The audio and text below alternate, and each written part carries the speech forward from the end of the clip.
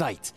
However, JT goes into short. The grenade's gonna give away his spot, but he's holding the flank, and he still can't get the better of a EliGE. 2v2 now. Not enough damage there either. Very full health players here on the attack. But Grim in the water. Just managed to slide down, maybe unsuspectingly to Team Liquid. Nope, Nade chunks him. 41 health, all he's got. oSee also gets shaved down lower, and hallzerk comes around the side, but EliGE goes over the top. From the top rope, elbow drop. And Team Liquid, that's nine. That's a very clean display of movement there from EliGE to get top of that site, and it was the absolute optimal play, right? Take out the AWPer, perfect line of sight on the guy back pit, hard fight for him to win. Beautifully done from EliGE. Did he slide off the back of the wood and then onto the railing? Did I see that right? No, okay, just sprayed from over top.